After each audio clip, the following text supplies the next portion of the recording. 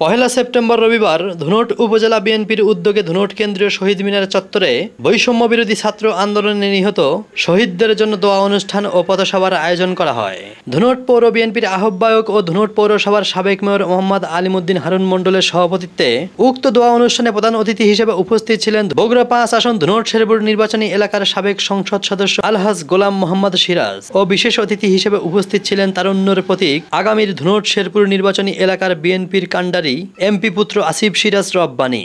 দোয়া অনুষ্ঠান ও পথসভা শেষে মাননীয় সাংসদ, বিগত আওয়ামী লীগ সরকারের শাসনামলে মৃত বিএনপি নেতাকর্মীদের বাড়ি বাড়ি যান এবং তাদের পরিবারের সঙ্গে সৌজন্য সাক্ষাৎ করেন।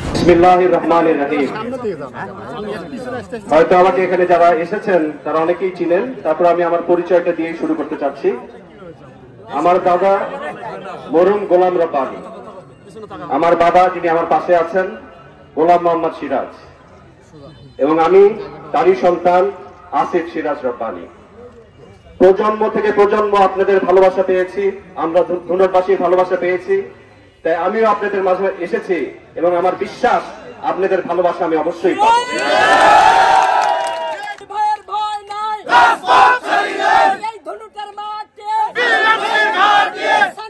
যে চত্বরে দাঁড়িয়ে আছি সেই চত্বরের পিছে দেখতে পাচ্ছি এখানে শহীদ আবু সাইদ শহীদ মুগ্ধ এবং এরকম ভাইয়েরা যাদের রক্তের বিনিময়ে স্বাধীনতা অর্জিত হয়েছে, তাদেরকে গভীর শ্রদ্ধার সাথে স্মরণ করে আমি দু মিনিট কথা বলব।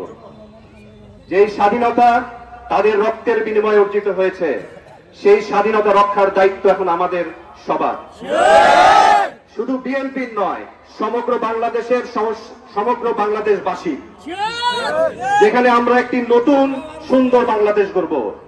যেখানে মুসলমান, হিন্দু সব ধর্মের ধর্মাবলম্বী একসাথে সুন্দরভাবে একটি সম্প্রীতির বাংলাদেশে বাস করবে।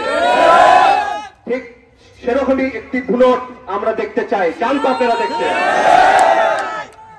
আরেকটা আমি বলতে চাই সন্ত্রাসীদের কোনো দল নাই। সন্ত্রাসীদের কোনো ইজম নাই।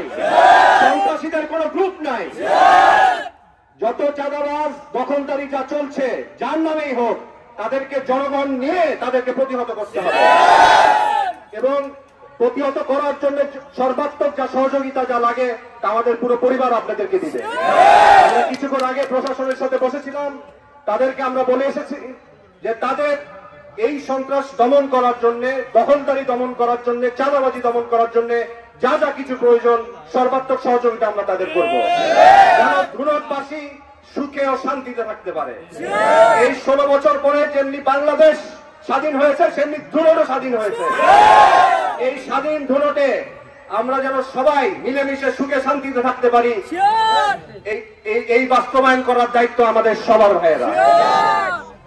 সর্বশেষ আমি বলতে চাই আমরা আপনাদের পাশে ছিলাম আপনাদের পাশে থাকতে চাই। আমাদের নেতার একটা কথা বলে আমি শেষ করতে চাই।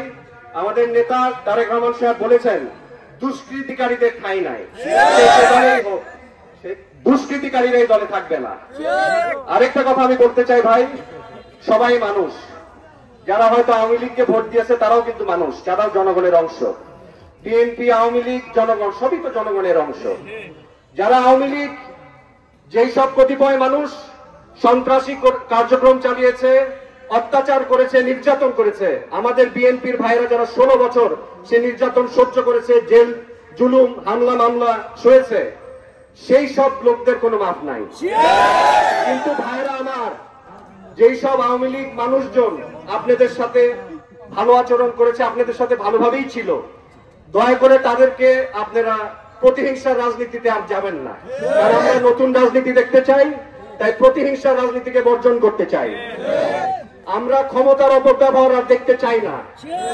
আমরা যেন একটি সুন্দর ধুলট দেখতে পারি আগামীতে, এবং সেই কারণে আপনাদের সবার সর্বাত্মক সহযোগিতা কামনা করে এই আশা ব্যক্ত করে আমার বক্তব্য শেষ করছি। এই ধরুকে বহুদিন পরে না, আমার মনে আছে আঠারো নির্বাচনে আমাদের সদর বলে আমরা এসেছিলাম, ভোটের জন্য আসছিলাম। মানুষ উন্মুক্ত হয়েছিল ভোট দেওয়ার জন্য, পাগল হয়েছিল ধারে শীষে ভোট দেওয়ার জন্য। প্রতীক খালেদিনের প্রতীক, তারেক রহমানের প্রতীক, বিএনপির প্রতীক নিয়ে গ্রাম আমার সিরাজ আসছিল। এই ধুনুটে ঢুকে আমাদের সাত সাতটি গাড়ি ভেঙে চুরমার করে দেওয়া হলো। আস্তানা ভেঙে দাও গুড়িয়ে দাও কোথায় সে লীগের আস্তানা আজ কোথায় সে হাসিনার আওয়ামী লীগের মুজিব বাহিনী সন্ত্রাসী বাহিনী? কোথায় ভাই? খুঁজে পাওয়া যায়? খুঁজে পাওয়া যায় না। যে মঞ্চে দাঁড়িয়ে আছি এ মঞ্চের নাম কি ছিল জানেন? কি নাম? মুজিব দপ্তর আজকে মুজিব দপ্তরকে হটিয়ে বাচ্চা একটা সন্তান। মাত্র বাইশ বছরের সন্তান সাইদ আজকে সাইদ দপ্তর হয়েছে। আজকে এক ছোট্ট যথেষ্ট। এই শুধু একা নয়, এই এবং এই নতুন স্বাধীনতার যারা অংশগ্রহণ করেছে, শহীদ হয়েছে, আহত হয়েছে, জান দিয়েছে। আজকে তারা এসছে হচ্ছে বাংলাদেশের আশা কোটি মানুষের। আজকে আন্দোলন বিপ্লবের মধ্য থেকে আজকে তাদের আজকে তাদের, আজকে বাংলাদেশের অবস্থান। এবং বর্তমান যে সরকার, ডক্টর সরকার এই সরকার আঠারো মানুষের সরকার, এই সরকার আমাদের সরকার, এই সরকার বিএনপি সরকার। আওয়ামী লীগ ছাড়া সমস্ত দলের সরকার। ভাইর আমার, এই সরকার এসছে বিপ্লবের মধ্যে দিয়ে, বিপ্লবের মধ্যে দিয়ে এবং এই সরকারের আজকে মাথা, বিশ্ব মাথা।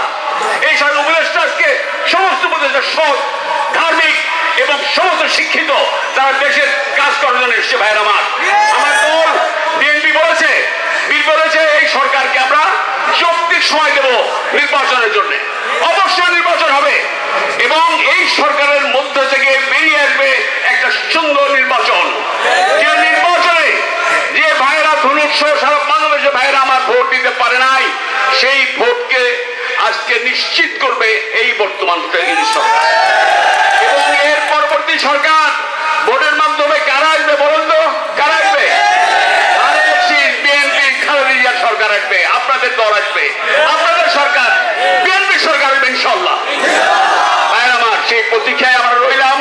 তবে আমরা যে সরকারকে অযথা অযথা এই সরকারকে বিব্রত করবার জন্য আওয়ামী লীগের কিছু শয়তান এবং তাদের আপনার এখনও পর্যন্ত শস্যের মধ্যে ভূত, সেই ভূত আছে কিন্তু সেই ভূতেরা বিভিন্ন জায়গায় সেজে, বিএনপি সাজবে জামাত ইসলাম সাজবে অন্য পার্টি সাজবে সেজে